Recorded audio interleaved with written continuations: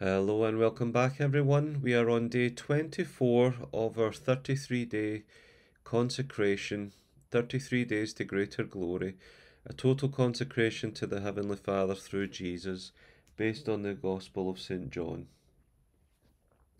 Today we are reading about Mary Magdalene and John chapter 20, verses 1 through 18. And let us begin. In the name of the Father, and of the Son, and of the Holy Spirit. Amen. Early on the first day of the week, while it was still dark, Mary Magdalene came to the tomb and saw that the stone had been removed from the tomb. So she ran and went to Simon Peter and the other disciple, the one whom Jesus loved, and said to them, They have taken the Lord out of the tomb, and we do not know where they have laid him. Then Peter and the other disciple set out and went toward the tomb. The two were running together, but the other disciple outran Peter and reached the tomb first. He bent down to look in and saw the linen wrappings lying there, but he did not go in. Then Simon Peter came following him and went into the tomb. He saw the linen wrappings lying there and the cloth that had been on Jesus' head, not lying with the linen wrappings, but rolled up in a place by itself. And the other disciple, who reached the tomb first, also went in, and he saw and believed. For as yet they did not understand the scripture, that he must rise from the dead. Then the disciples returned to their homes. But Mary stood weeping outside the tomb. As she wept, she bent over to look into the tomb, and she saw two angels in white, sitting where the body of Jesus had been lying one at the head and the other at the feet. They said to her, Woman, why are you weeping? She said to them, They have taken away my Lord, and I do not know where they have laid him.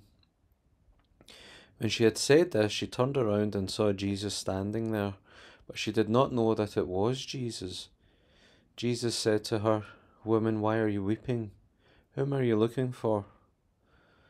Supposing him to be the gardener, she said to him, Sir, if you have carried him away, tell me where you have laid him, and I will take him away. Jesus said to her, Mary. She turned and said to him in Hebrew, Rabboni, which means teacher.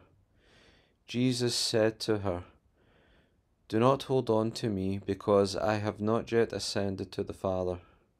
But go to my brothers and say to them, I am ascending to my Father and your Father, to my God and your God.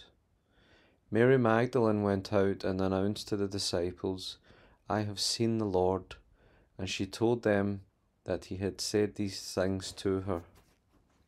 Author's Commentary Standing by the foot of the cross of Jesus, John tells us, among other faithful women, was Mary Magdalene. And who was that? In the Gospel of Mark, we learn that she's the one out of whom Jesus cast seven demons. Some also believe that she's the one who washed the feet of Jesus in the house of Simon the Pharisee in the Gospel of Luke, the one about whom Jesus said, She loved much. Whether Mary Magdalene is that woman, we do not know. But here's what we do know she loved Jesus much, very much. How do we know this? Because again, Mary was there at the cross. While all of the apostles except John fled from Jesus' crucifixion out of fear, Mary Magdalene went to the cross without any fear. For there is no fear in love, but perfect love casts out fear. We also see Mary's love for Jesus in the fact that she went to his tomb early on Sunday morning while it was still dark. And she wasn't just quietly visiting there. Rather, she was weeping beside herself with grief at the loss of the one whom she loved. Reflecting on her tears, we can certainly take what John had said of Jesus as he wept for Lazarus and apply it to her. See how she loved him.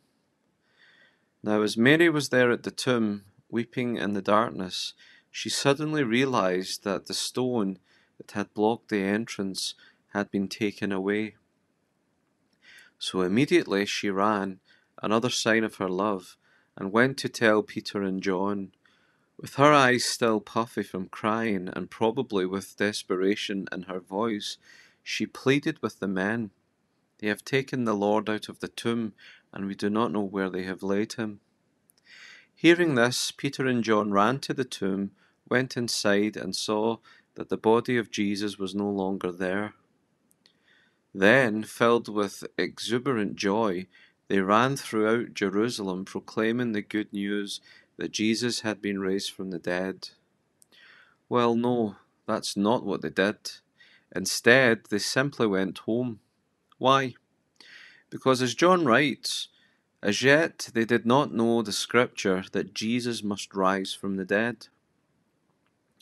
Meanwhile, Mary Magdalene stayed at the tomb weeping, and so her love seems to be even greater than that of John. As she wept, she suddenly noticed two angels in the tomb where Jesus' body had been. The angels then said to her, Woman, why are you weeping? Now let's reflect on that for a moment.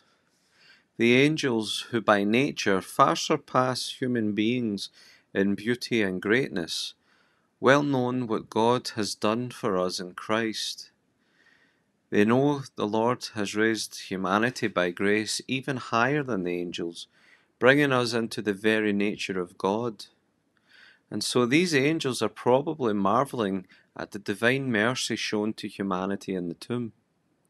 It's no wonder then that they ask Mary, Why are you weeping? It's as if they wanted to say, Don't you have any idea what God has done for you?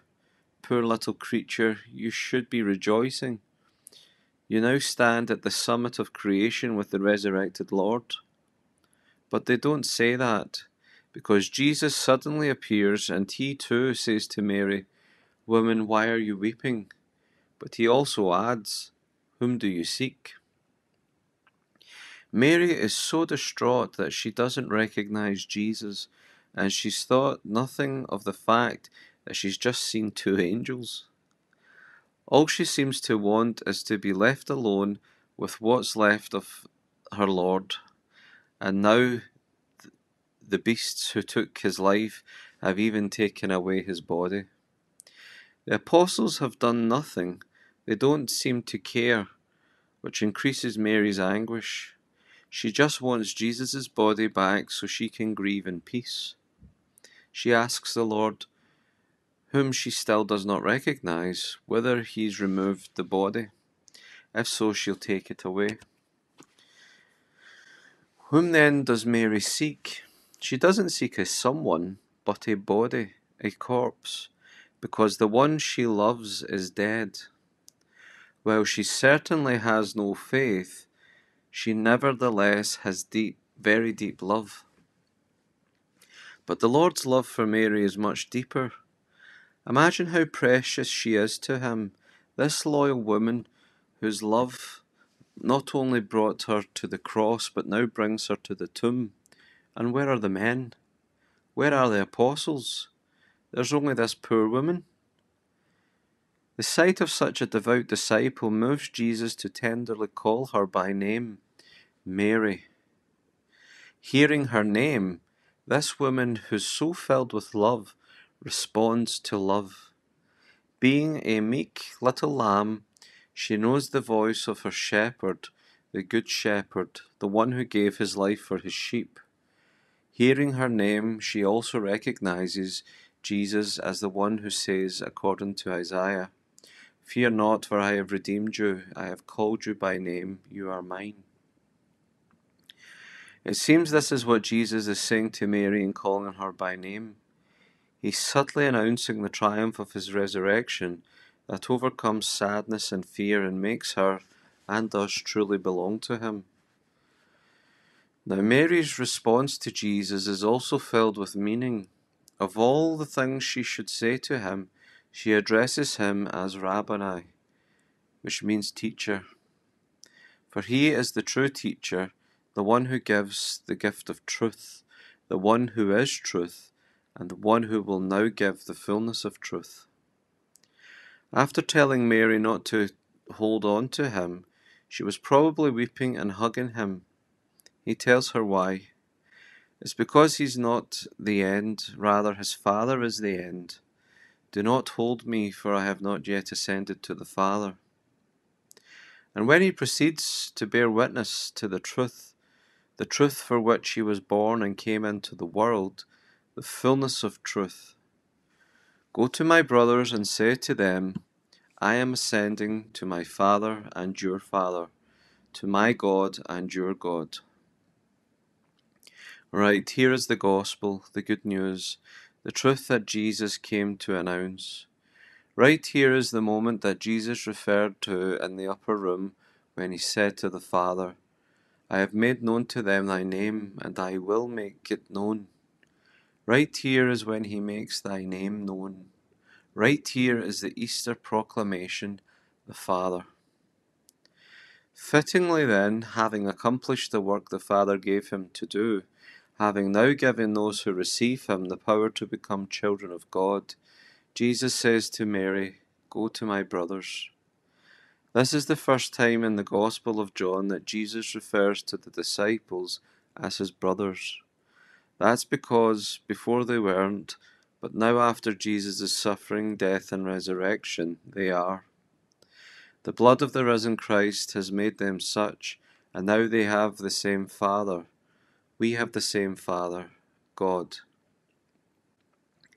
Still, Jesus makes a distinction. He says, My Father and your Father. That is, we are all sons and daughters in the Son. We only call God our Father through the gift of being in the eternal Son. But why does Jesus call the Father my God? Isn't Jesus also God? Yes, of course.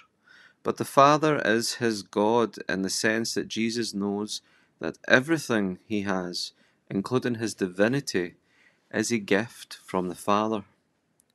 He knows the goodness and humility of the Father, who, as he loves, gives everything without holding anything back, such that the Son is equal to the Father. And the Son has now done what the Father does for him. He has loved us without holding anything back, thus giving us his Father as our Father, as we live in him as sons and daughters in the Son. Hearing Jesus' words, then, the woman who loved much, very much, did as she was told. She went to the apostles, as the apostle to the apostles, and declared to them, I have seen the Lord. She then announced the good news that God is our Father, and we are now brothers and sisters in loving communion with Christ. Alleluia. Today's prayer. Lord Jesus, thank you for making the Father's name known to me, so that, so that the love with which He has loved you is now in me and I in you. Amen.